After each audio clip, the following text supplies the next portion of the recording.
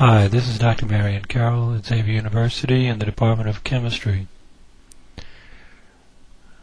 Welcome to Biochemistry 4130. Biochemistry is concerned with a number of uh, things of understanding molecular interaction, synthesis and degradation of biomolecules, the, the organization of these molecules, the central dogma of molecular biology, that is, the replication, transcription, and translation of the genetic material. And in this chapter, we will concern ourselves with the structure, the basic structure of organic compounds, where they are believed to have originated, and the energy that is involved in these structures, how it is utilized to drive chemical reactions. We want to concern ourselves with a number of questions that relate to these topics. I've given you two here. Which of the following groups of elements contribute to 87% of the total dry weight of the human body? This is a simple question that can be answered simply by reviewing the, the topics in the chapter. Another question is how can the complementarities of complex molecules aid in their replication? So if we look at prebiotic era, that is from about 33.5 billion years ago, we'll find that there are evidences of multicellular organisms we previously had no knowledge of. This prebiotic era is thought to have arose through one of two or maybe both theories, one in which involves the generation of simple and biochemically significant organic compounds through a week-long experiment in which these organic compounds were generated by applying heat, and electricity to a mixture of inorganic precursors. The other idea is that life arose from hydrothermal vents at the ocean floor.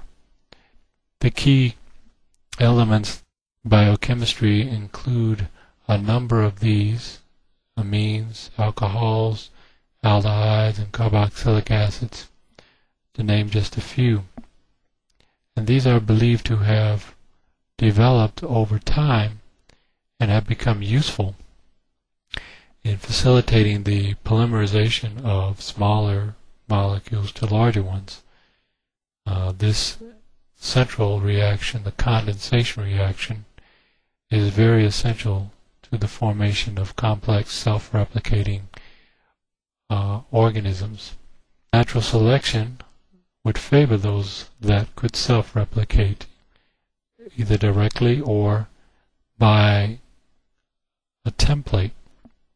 And the template complementation would occur between these functional groups that could participate in the condensation and hydrolysis reactions. It is believed that larger more complex cellular organisms may be may be a result of symbiotic relationship between multiple cellular enclosed organelles that could act together with uh, within a single entity and thus we have a much larger a more complex structure than uh, before. This is the foundation and distinction between a prokaryote, which would be represented by one of these organelles, and the eukaryote, which would have cellular compartments. Evolution provides little direct evidence of the origin of life.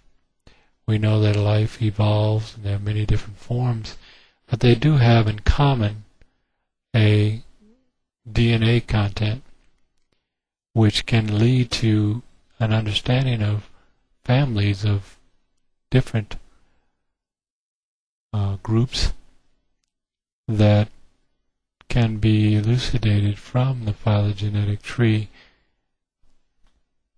evolution is an ongoing process. It is the random accumulation of good and bad events based on past constraints, and it is a fact. This evolution is ongoing. So I want to thank you for your attention. This is part one of chapter one. Uh, I will continue with part two on thermodynamics in the next video.